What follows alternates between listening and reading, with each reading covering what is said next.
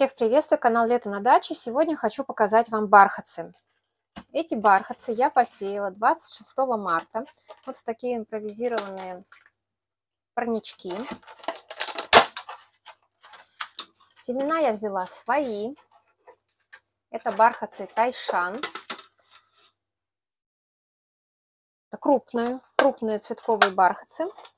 Но, к сожалению, прошла неделя, и посмотрите, ничего. Здесь совсем ничего. Здесь бедные два бархатца вылезли, а остальные нет. Я их посеяла в два ряда, где-то ну, штук по 25 в, каждую, каждый такой парничок точно. И сходы очень неудовлетворительные, почти нулевые. И я что подумала – может быть, э, нельзя на следующий год сразу сеять свои семена бархатцев. Может, нужно переждать год и только через год сеять, потому что в том году я тоже сеяла свои бархатцы, правда, они были обычные, не тайшан, и тоже была очень плохая всхожесть.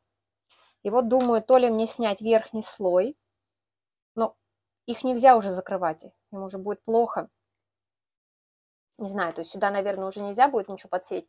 А здесь, думаю, может быть, снять верхний слой, снова все за, э, заложить густо-густо бархатцами и снова закрыть.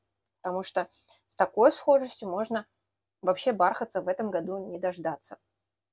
Вот если вы сеяли бархатцы из своих семян, поделитесь, можно ли их на следующий год использовать, сеете ли вы. Вот будет очень интересно.